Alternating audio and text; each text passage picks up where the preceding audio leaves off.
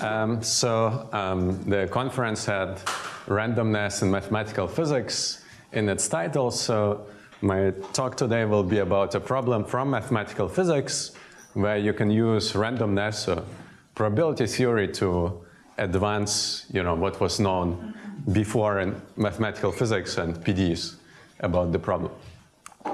Okay, so the plan for the talk is uh, uh, I'll give you a bit of historical background and motivation for the supercooled Stefan problems, a topic of my talk, and uh, Stefan problems you know, in general. And so um, what I will try to explain is that um, even though the problem is a PDE problem from the mathematical perspective, there is sort of a natural barrier to how far you can go with PDE techniques. And so the main message will be that you know, there is a probabilistic reformulation of the problem which allows you to go beyond that barrier and uh, in particular allows you to construct global solutions of, of this problem, whereas before only local solutions uh, were considered. And so, you know, the main part of the talk I will sp spend on explaining uh, that these global solutions actually exist. So it's really not a vacuous class of objects we're talking about. And then uh, I'll tell you a little bit about uh, the structure of the solutions uh, and also a little bit about the existence proof. And I should also mention, so this is based on a sequence of three papers. The first two are joint work with Sergey Nadtochiy, and the third one is joint with Francois Delarue and uh, Sergey Nadtochiy. Okay, so let's get started. So uh, Stefan problems, as uh, some of you may know, you know, a very classical uh, topic in mathematical physics. So they were introduced by Stefan in the late 19th century. And so um, if you read German, these actually extremely entertaining uh, papers to read. So um, I definitely recommend to look at least at the introduction uh, of these papers. And so if you look at the first paper from 1889, uh, what Stefan was interested in is the formation of ice in the Arctic Sea. And so in particular, he writes that you know, he, he was worried about uh, too much ice forming in the Arctic, so it will be kind of hard for ships to, to sail through. And so she wanted to kind of mathematically model uh, the, this behavior, so how ice, or, you know, icebergs are forming in the ocean. And so he wrote down a, a free boundary problem which uh, describes uh, this behavior. And then he actually realized that there is nothing special uh, about the phase transition from, uh, from water to ice. And so in the subsequent papers, he looked at other phase transitions, uh, so, so evaporation and condensation and, and so on. And so kind of in the style of 19th century, he wrote down various explicit solutions uh, for the Stefan problems, so for the free boundary problems he has formulated. And as it sometimes happens in science, so somehow uh, his work was thoroughly forgotten and you know, barely cited for 40 years until uh, Brillouin gave a talk about it at the Institute Henri Poincaré in Paris in 31, and then somehow, you know, the subject went through the roof. So um, if you look at uh, the book by Rubinstein uh, from 67 on uh, Stefan problems, uh, he says that, you know, even the book is not long enough to cite all the papers uh, that were written on the subject and that he estimates that there are around 2,500 papers uh, written on Stefan problems by the 60s. So, of course, you know, I will not give you an overview of these 2,000 papers, but uh, there is some consensus um, that this paper uh, by Kamenomostskaya from 61 is, you know, in some sense, you know, the final solution uh, and sort of the end of the subject in the sense that uh, she managed to construct generalized solutions of Stefan problems in any dimension for any number of phases, and she gives existence, uniqueness, and also numerical schemes. So in a sense, you know, everything you might want to know about Stefan problems. So what I will talk about today is a different regime uh, of the Stefan problem, namely uh, the so-called supercooled regime. So what it means is that uh, the liquids in my talk will be supercooled.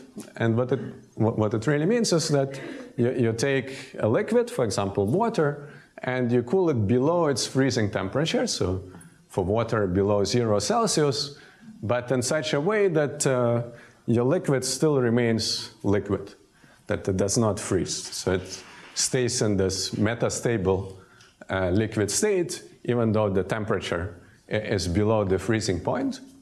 And then somehow the behavior of these uh, supercooled liquids is very different from the behavior of regular liquids. And rather than telling you in words, I'll show you a quick video uh, of that. So let's see if it loads. Great. So what you will see in the video is supercooled water, which is poured into a glass. And uh, I emphasize that the video is in real time before I show it. Okay, so here it goes. So take super cold water, you pour it, and then this happens. So you see, you know, the freezing, the phase transition goes on, you know, extremely fast. You see this almost instantaneous freezing. And so, you know, what we will want to understand in this talk is, you know, how to mathematically, you know, model this kind of behavior. So this, you know, very fast advancement of the frontier between the ice and the water, and how you can study this phenomenon uh, mathematically. Okay. All right, so mathematically, kind of in a nutshell, uh, what this behavior uh, translates to is that uh, the problem will have blowups. And so um, this was first observed by Sherman in the 70s. And uh, so what it means is that there will be uh, finite time points at which the speed the ice is advancing will become infinite. And so kind of the main message of the talk will be that you can go beyond these blow-up times, so you can construct global solutions of the problem, even beyond the time where the rate at which the ice is advancing in the video becomes infinite. All right, so after this introduction, let me jump into the math. Uh, so I'll first uh, draw a picture and then explain uh, the cool Stefan problem in formulas. So what we will look at uh, in this talk will be the so-called one-dimensional, one-phase Stefan problem. So what it means is the following. So we have, let me draw time horizontally and space vertically. And so initi initially you imagine that you have water or some other supercooled liquid sitting on the positive half line. And if you like, you can think of putting ice uh, or, or, the corresponding solid state of your liquid uh, on the negative half line at time zero. And what will happen is that as time evolves, as in the video, the ice will advance, so more and more ice will be forming, and you know, less and less water will, will be left. So we will see some kind of frontier between uh, the two states. And what we will want to understand is how this frontier is advancing. So in the video, how the ice is kind of moving from right to left. Okay, so uh, how does how the models this, how you write the mathematical equations for this? Well, in this uh, uh, region above the frontier where you have the water, you just uh, uh, you're just solving the heat equation. So uh, heat just propagates through the water according to the one-dimensional heat equation, uh, as long as you're looking above the frontier that I will always call lambda of t. And then there is a kind of coupling effect. So um, the way this frontier is advancing is related to the gradient of the temperature uh, next to the frontier. So that's uh, the second equation. So, so the derivative of this uh, non-decreasing function is some physical proportionality constant, capital C, times the derivative of the temperature distribution in the water at the frontier. So right at um, the point where the ice and the water meet. And you have uh, kind of natural boundary conditions. So at time zero, you start with some initial temperature distribution. Sorry? With respect to time here. So lambda is just a function of time. So that's, uh, yeah, so just the slope of, of this frontier. Um, right, and so, so you have natural initial and boundary conditions here. So initially, you have some temperature distribution in the water that I call uh, little f.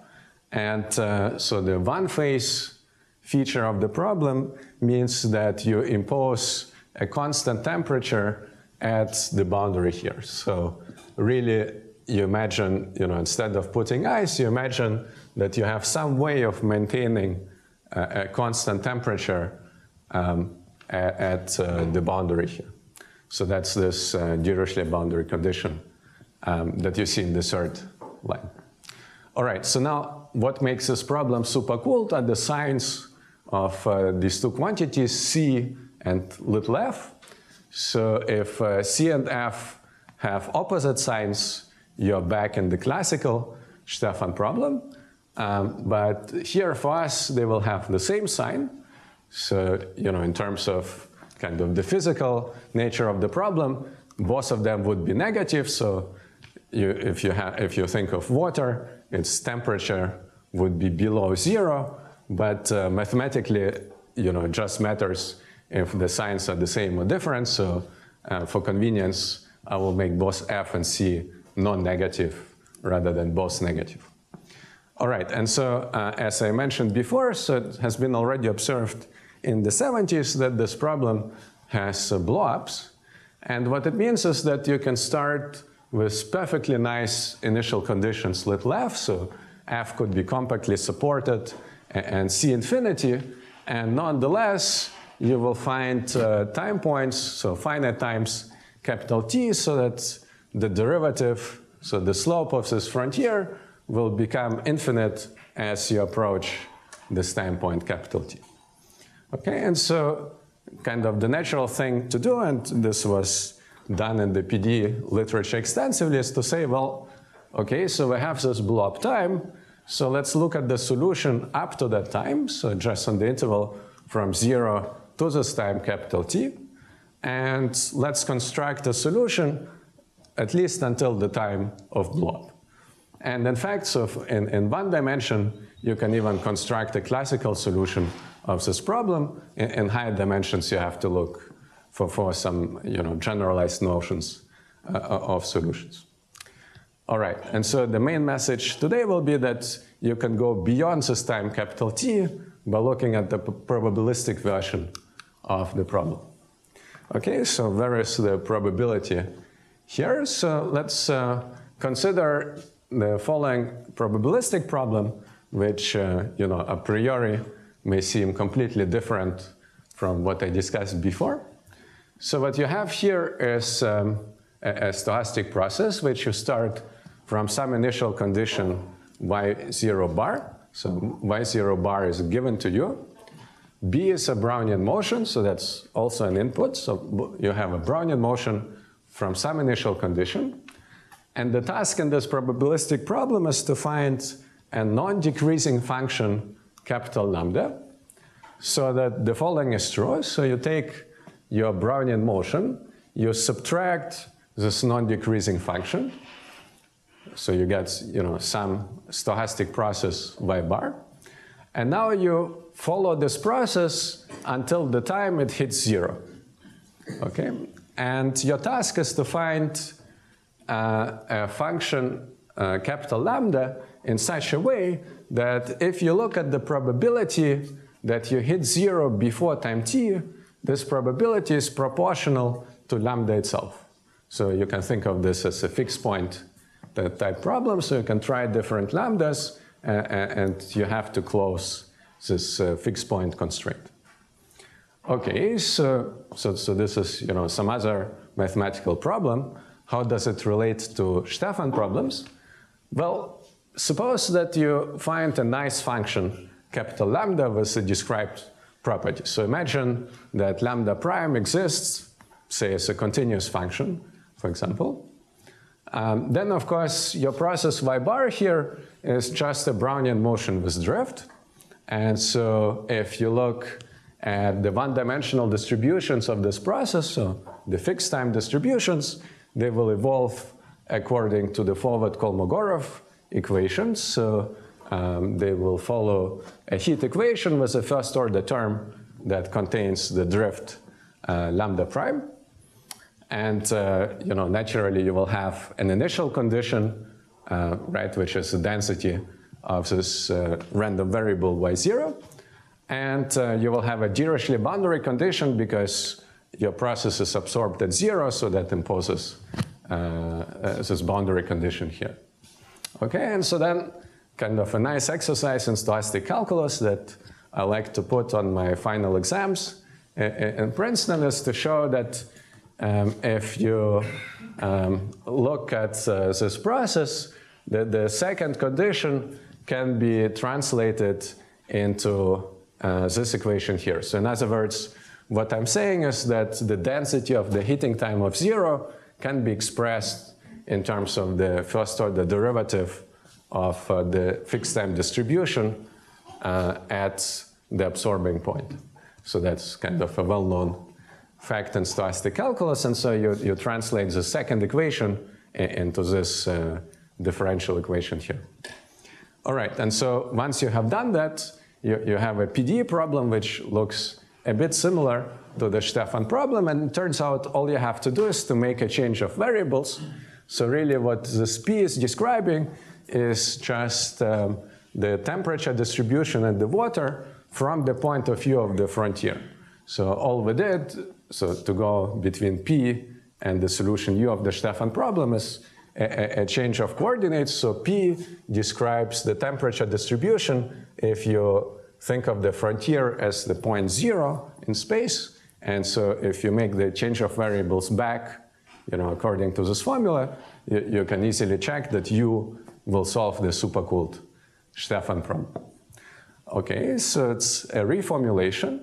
And so what is great about this reformulation is that the quantity lambda prime which is supposed to blow up, actually never appears, right? So if you look at this problem, so this, these two equations, they're formulated in terms of lambda itself, so its derivative does not even show up, and also this change of variables involves lambda itself, so the frontier itself, rather than the rate of freezing, and therefore um, you may be able to extend your solution beyond the blow-up time, right? So we can introduce a notion of global solutions to the supercooled Stefan problem by saying that, well, we're looking for capital lambdas, solving this probabilistic problem, and once we have solved this problem, we will make this uh, change of variables down here, and this is what we will call a global solution of the supercooled Stefan problem.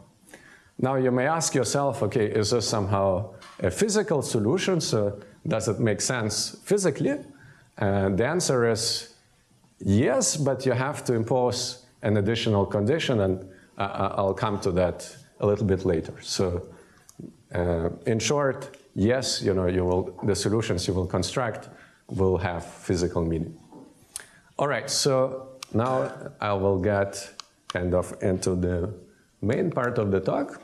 So, um, you know, for, for the next uh, maybe 20 minutes or so, I'll try to convince you that these global solutions actually exist, right? So um, it, it's a new notion of solution. So maybe, you know, there will be no such functions capital lambda with the described properties. And once we have existence, I'll tell you more about how these solutions look like and explain, you know, how you can even get uniqueness uh, of these solutions. All right, so um, we have by now two proofs of existence. but you know, since this is a probability conference, I will choose the more probabilistic proof. Now, from the probabilistic perspective, you know, if you want to show existence for, for some limiting equation for some PD, one natural way to proceed is to find, you know, some discretization of the problem. So, you know, typically we find some kind of interacting particle system that uh, describes the microscopic dynamics uh, behind the PD, and then use a tightness argument, right? So you, you, we will cook up a sequence of particle systems which uh, in the hydrodynamic limit are supposed to give the right PD. And if we can show that subsequential limits of these particle systems exist and are actually solutions of the limiting equation, then the existence. So that's exactly how we will proceed. Now, for us, it was convenient to use a particle system that lives in continuum space, to, to use tools from stochastic calculus. But since uh, many people here prefer discrete probability, let me give you first a discrete version of the particle system, which uh, um, you know you could have also used to, to prove existence, just that, in my opinion, it's a bit less convenient. Okay, so uh, you can think of the following discretization of the limiting problem. So now I will draw space horizontally here. And uh, imagine the following particle system. So you're on the non-negative integer lattice um, in, in space. At zero, you have you know, the initial location of your frontier. So again, you know, you can think of having ice to the left of zero and water to the right. And uh, now we'll put particles on these different sides of Z plus. There is no exclusion constraint, so you have you can have multiple particles uh, per side.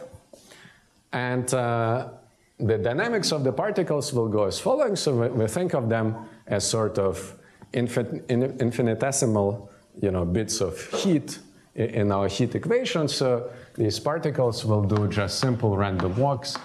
So they will jump to the left or to the right with probability one half with no interaction whatsoever um, as long as they're to the right of the frontier. So initially we just have independent simple symmetric random walks.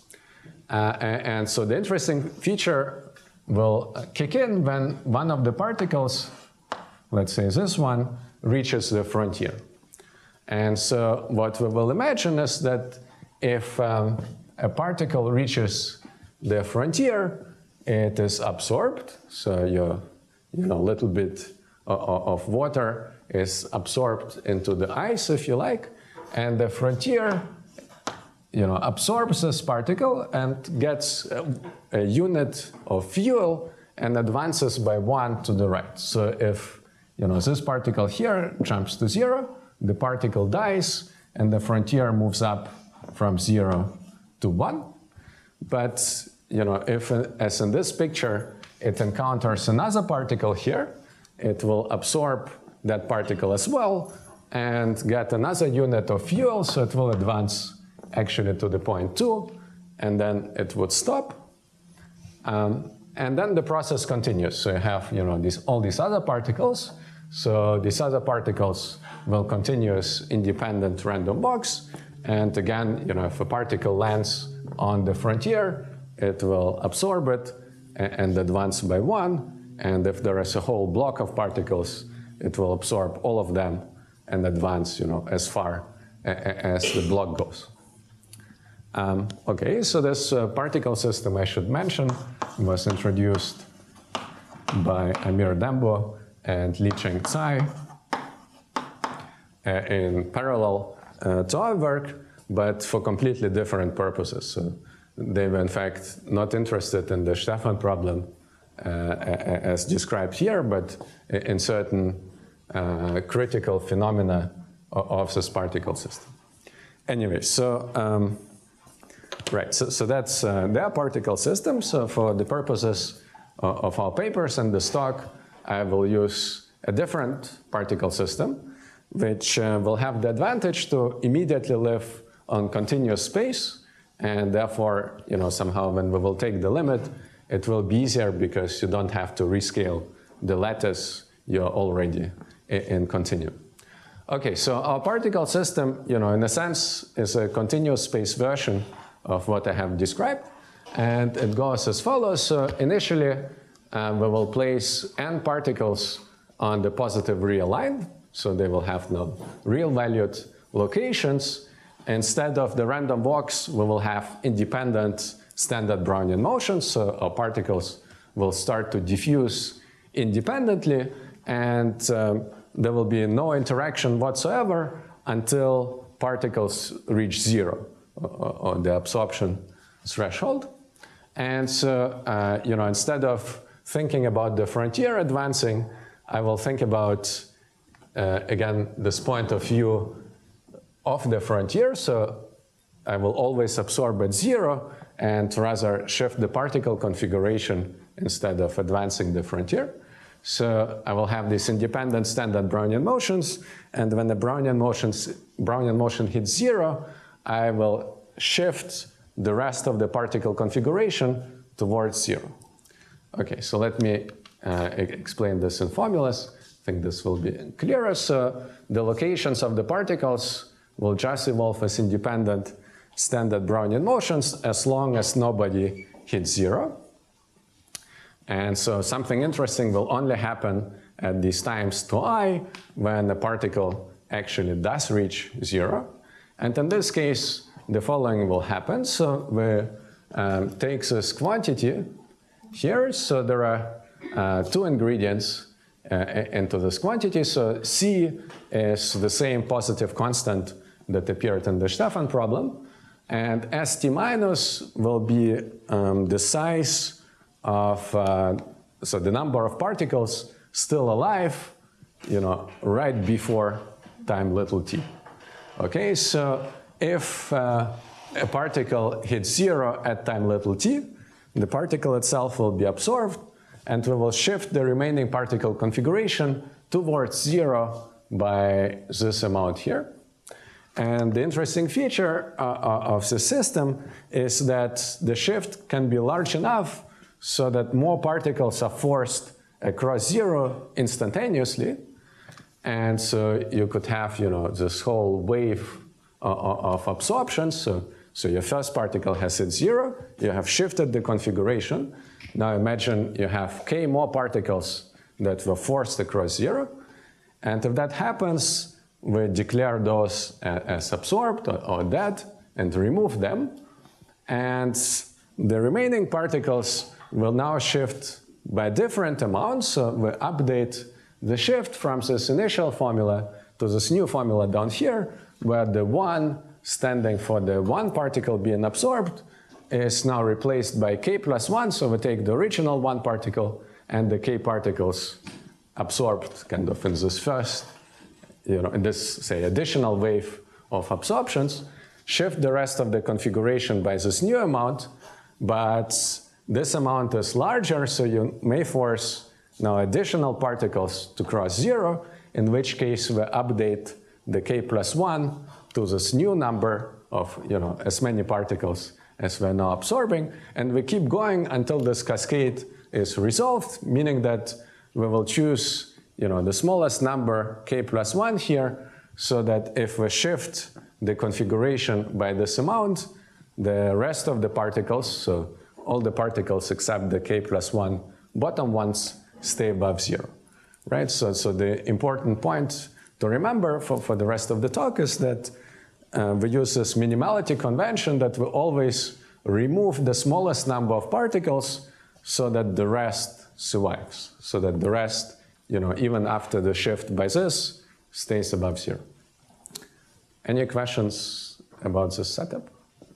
So is it clear that you don't remove just everybody uh, so it's no, that's perfectly possible. So it's possible that at some point in time you will just remove everybody, and then the game is over. Yes. Uh, uh, this model doesn't distinguish supercooled and uh, normal regime. uh, so this model, it does distinguish the two regimes because, um, right, so, so it does distinguish because uh, we use, so we crucially use the fact that C and F are both positive because F for us is the initial density.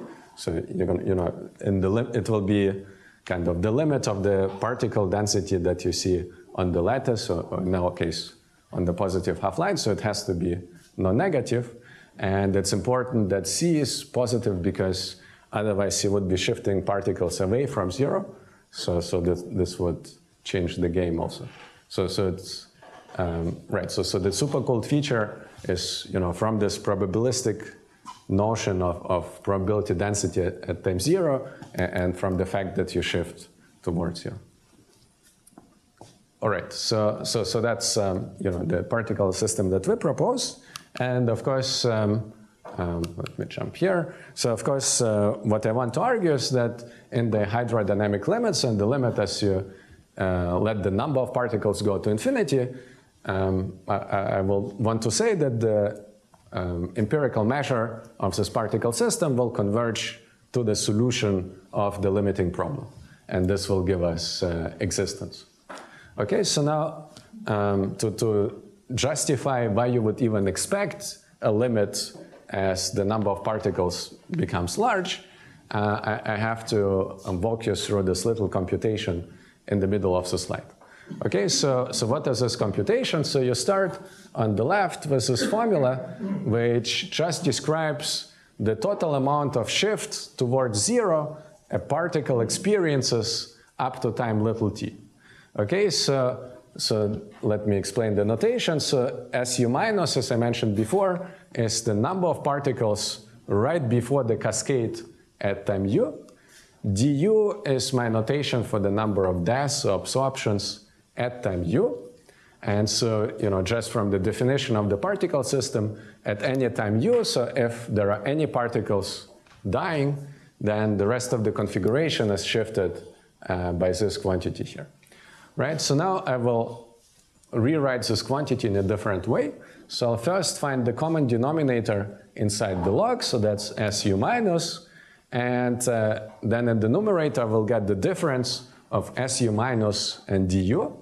So that's the number of survivors right up to time U minus the number of absorptions at time U, but this difference is just the number of particles that make it beyond time U that survive the cascade at time u. And now if you look at this formula, so the log of this ratio is really the difference of the logs. And so what is written here is really a telescoping sum. So all the terms will cancel out except for the very first denominator, which is the initial size of the system, so that's capital N. And the very last numerator, which is the number of particles that make it beyond time t. But uh, those quantities, st, you can rewrite as a sum of indicators, right? You just count how many particles made it beyond time t. And so if you rewrite uh, the aggregated shift this way, you realize your particle system is actually of mean field or, or McKean-Vlasov type, meaning that um, the interaction term can be written as a functional just of the empirical measure of the system. So the only way a particle feels uh, the presence of other particles is only through this empirical average of survival probabilities.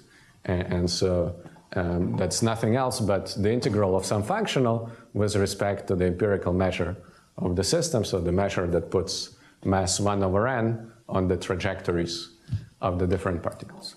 And so whenever you have a mean field, um, mean field interaction, uh, we have a, a well-known heuristic, usually known as a McKean-Vlasov heuristic, which says that yes, you should expect a limit as the number of particles becomes large. And what should happen is, um, so first of all, propagation of chaos. So you, you, you, expect that the interaction is very weak. So uh, as n becomes large, your particles will become asymptotically independent. And uh, as a result of that, these uh, empirical averages will converge to the, you know, in this case, uh, so, so to the corresponding expectation, as in the law of large numbers, and in this case, the corresponding expectation is just the survival probability of a typical particle. So let me skip this slide and just jump to the limits. So um, if, you believe in the McKean-Vlasov heuristic, you arrive uh, at the following conjectured limits. So a, a, typical particle in a system with you know, a large number of particles is supposed to behave as a Brownian motion, because uh, in my system, particles are driven by Brownian motions, and this uh, empirical average, uh, so the C log of the empirical average of survival indicators should converge to C times log, just this times this, uh, sorry, log of the survival probability of a typical particle in the system. So you arrive, you know, up to this log here, you arrive uh, exactly at the probabilistic formulation of the Supercool-Stefan problem. And you can also build a similar particle system where there is no log, but the computation I showed you with the telescoping sum would become a little bit more complicated. So, so, so I, I for simplicity, I, I introduce this log here. Okay, so um, now typically what happens in this kind of problems is that you have, you know, from some PD results or, or from some uh, analytic techniques, you, you get uh, existence and uniqueness for the limiting problem. And so if you can establish some kind of tightness estimate for your particle system, you, you can deduce that uh, you know, along subsequences, you have to converge. And so if the limit points solve the limiting problem, you get convergence of the whole sequence to the unique solution uh, of the limiting problem. Now here, when, when you start thinking about this problem, you run into two issues that seem to be kind of uh, terrible, right? So you, first you run into non-existence. So let me tell you what I mean by that. So if you, you know, think about this problem, right? So your input is a Brownian motion and you look for this, again, uh, monotone function, capital lambda, so that the survival probability of this process is related to lambda itself. Now your input is a continuous process, of Brownian motion, so naturally you would try to look for a continuous function, capital lambda, that solves the problem. And so what I mean by non-existence is that you can uh, cook up a very simple, you know, two-line argument saying that, uh, you know, for perfectly nice initial conditions, you will not be able to find uh, a continuous function solving the system of equations.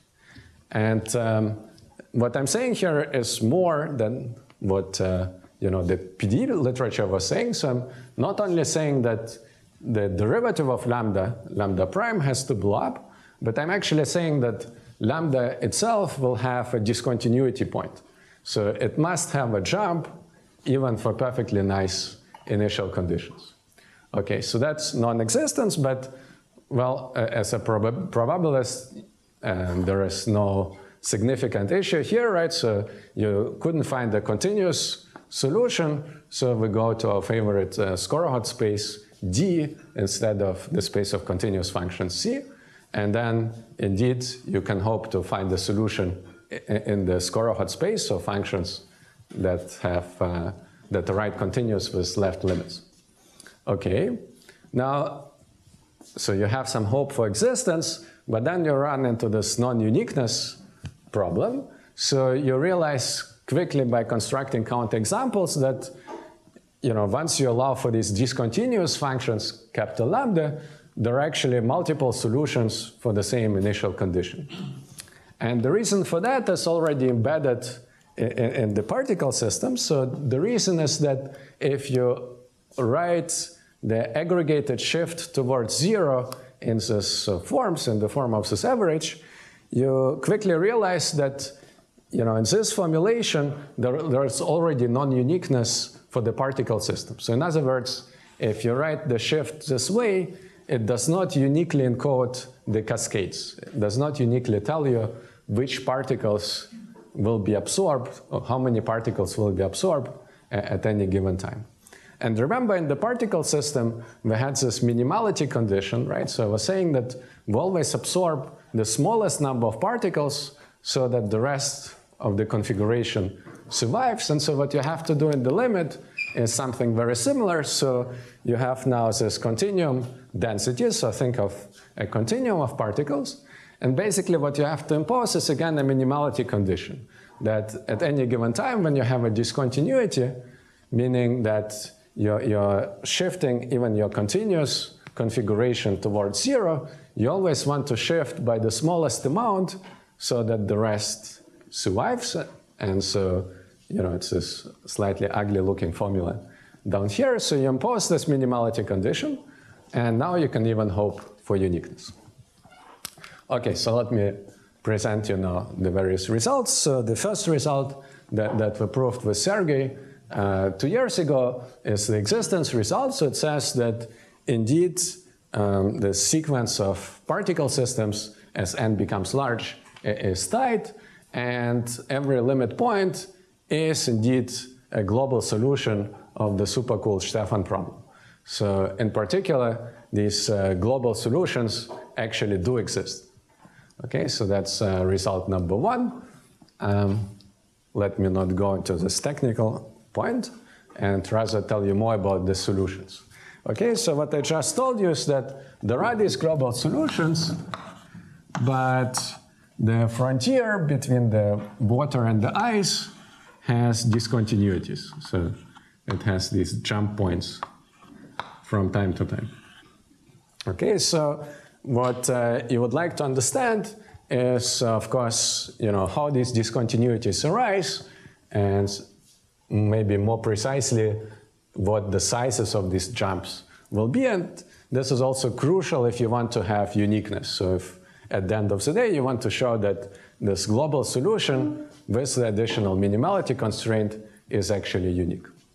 Okay, so to, to get there, you know, the simplest question you may ask is the following. So you look at the first time of a discontinuity and you can ask yourself, what is the temperature distribution? How does the temperature distribution in the water uh, have to look like so that you run into this discontinuity? So what is happening in your liquid which leads to the jump uh, of the frontier? And that's what uh, the next result is about. But you know, to get to that, uh, I have to tell you a little bit about this first part of the solution. So what happens before the discontinuity? Okay, so to contrast the discontinuous part with that. Okay, so in this, uh, you know, regular behaved part, the following is going on. So remember, we're looking for some function to add to Brownian motion uh, to, uh, uh so that the resulting process, you know, closes some fixed point constraint.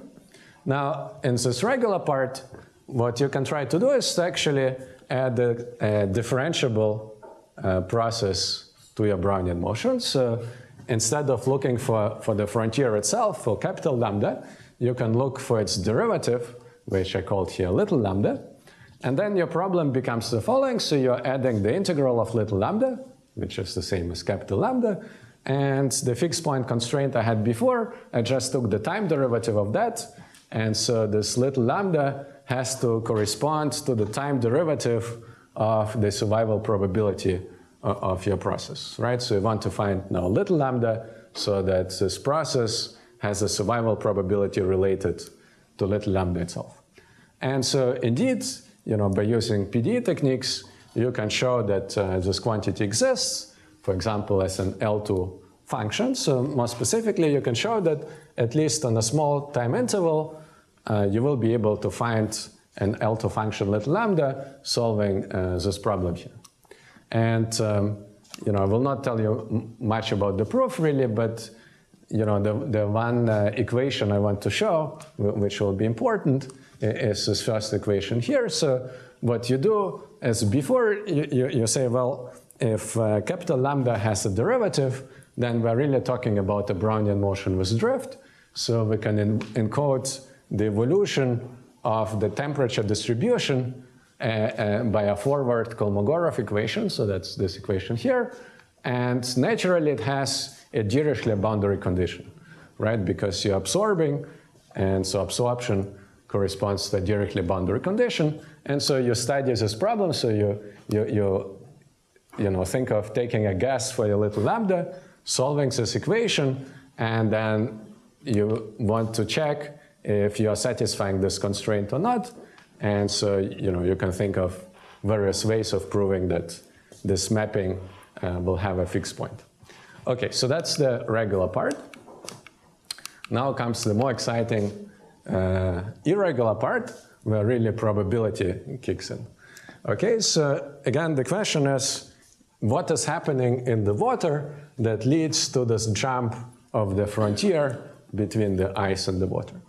And the answer is that, you know, at this uh, first jump time, the Dirichlet boundary condition, which uh, um, I, I, was just describing, will be violated. So as you approach this jump time from the left, your density, right, or your, your temperature distribution, which you know, in this regular regime obeys the Dirichlet boundary condition.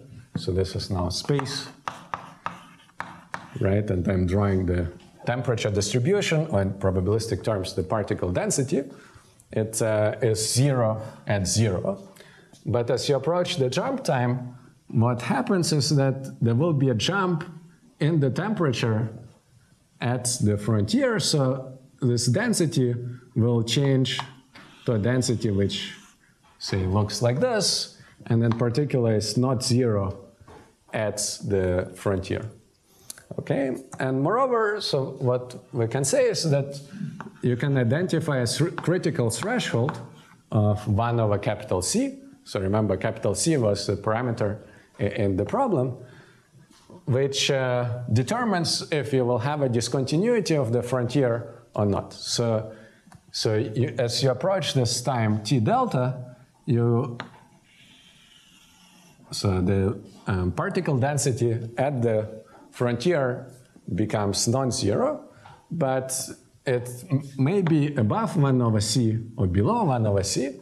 And what the theorem is saying, you know, slightly simplified, is that um, if you're above 1 over c, you will see a discontinuity of the frontier, and if you are below 1 over c, you will not.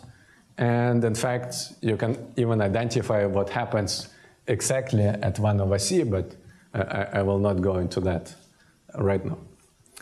Okay, so that's uh, how you describe these discontinuities, and in fact, you can give exactly the size uh, uh, of the discontinuity in the frontier in terms of the behavior of this density near zero. Okay, so that's the second main result. And so the last result I want to present is about uniqueness uh, of uh, solutions. So you can ask yourself, well, so now we understand these discontinuities, we understand the regular regime, maybe we can actually say the solution is unique, and you know there is a unique way of going through this regular part and a unique way of choosing the discontinuities. Now, it turns out that uh, things are a little bit more complicated than that. Okay, actually, they're much more complicated than that. So the issue is that there are really three regimes rather than two. Okay, so it's not only the case that you either have a differentiable boundary or frontier or jumps, so that, and you just alternate between the two, that there is a third possibility, and it comes from this kind of picture. So it comes from these situations where your particle density becomes positive at zero, but stays below the threshold of 1 over c. And so in terms of this frontier, I built right here, um, the third regime uh, means the following. So you, you, you start kind of, kind of in this nice regime where your boundary is differentiable. Now, what can happen is that the derivative uh, of this boundary or frontier will become infinite, but the frontier remains continuous. So you can have, you know, also blobs of this form where you have this infinite slope, but still no discontinuity. And the third case is that you do have a discontinuity, as I have just described. And so to get uh, uniqueness of the solution, you need to understand all of these three regimes. So the perfectly regular one, the intermediate one where you are continuous but not differentiable, and also this irregular one. And it turns out the intermediate regime is actually by far the hardest, and that's kind of the core uh, of this paper with uh, Sergey and Francois. So the third paper in the sequence is really to understand the intermediate regime. And basically, at the end of today, you, you, you're always in one of these three cases. So at any given time, if you look at the temperature distribution in the water, so that's just this density f of my random variable, there are three situations. So either it is zero at zero and you know well behaved near zero, in which case you have this continuously differentiable frontier, or it's your, your particle density or your temperature distribution gives you a positive temperature uh, at this uh, threshold, but below 1 over c. In this case, what you have to do is to figure out, you know, what is exactly the regularity of this frontier, and so what you get is uh, Hölder continuity estimate. So your frontier will be always at least one half Hölder continuous, and it will be slightly better than that, so it will be one half plus delta Hölder continuous, and this delta will go to zero as you approach this point 1 over c. So it will depend on really where you are below this critical threshold. And then the third case is the irregular behavior when your density is above 1 over c and you get a discontinuity that, that you can phrase in terms of the density. So once you can analyze all of these three cases, you're actually in good shape for uniqueness. So, you know, at this point you can prove that there is actually a unique solution, unique global solution of the supercooled-Stefan problem. But, you know, it's unique once you impose the minimality constraint on the sizes of these discontinuities, as described before.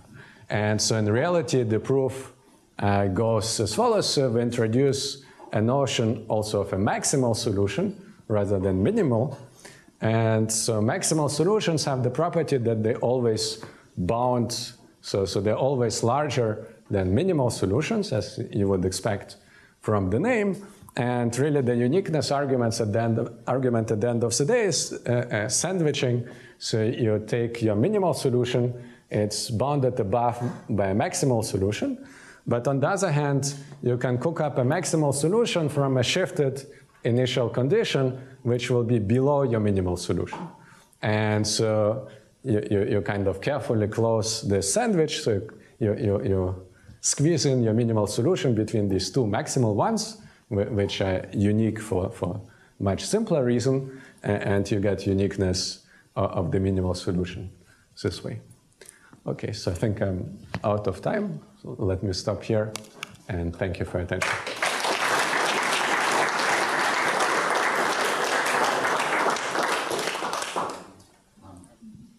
Uh, can you extend this model or the analysis to two dimensions? Because this is a one-dimensional model. Right. Uh, one-dimensional interactive particle system, etc. Can you do this in 2D? Uh, so that's, of course, a very natural question. And the answer at this moment is no. So we use kind of a lot of comparison arguments and monotonicity, which is special to one dimension.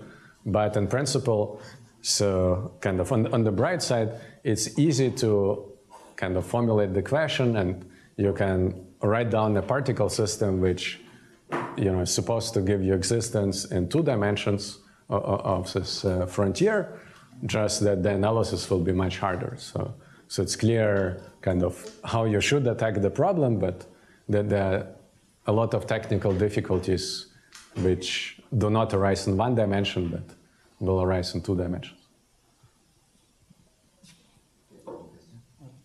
In relation to the video you showed, is it true that capital T corresponds to the time that everything freezes? Um, so, so in terms of the video, basically, what you should think of is, um, so, so what I showed you in the video is, roughly speaking, a situation where capital T is equal to zero. So where already at time zero, you have this very fast kind of leap or advancement of the ice. So um, so, so there is a group in Oxford which uh, actually runs the sort of experiments on supercooled liquids, and so you can kind of prepare uh, very, you, you know, basically any desirable, any desired um, temperature distribution in your supercooled liquid and, and see what happens. And so then you can create situations where initially the freezing is kind of slow and, and you really see kind of this uh, regular behavior. And then from time to time, you will see that the ice is growing in real time. So, um, so, so this, so, so then the capital T would be kind of the first time that you see with your naked eye that the ice is growing, roughly speaking. Uh, and C uh, depends only on the liquid itself. It's, uh, Uh, yeah, see, right. So it depends uh, on the on the liquid, and uh, it depends on how you prepare the liquid. So, for example, you can create these supercooled liquids also by um, you know putting uh, them under high pressure. So, so it basically depends on the conditions of your experiment and the particular liquid that you look at. Yes. thank you. Welcome. Any other questions? Uh, okay, so we'll have a coffee break and then we'll uh, resume at um, 11.30. Let's thank the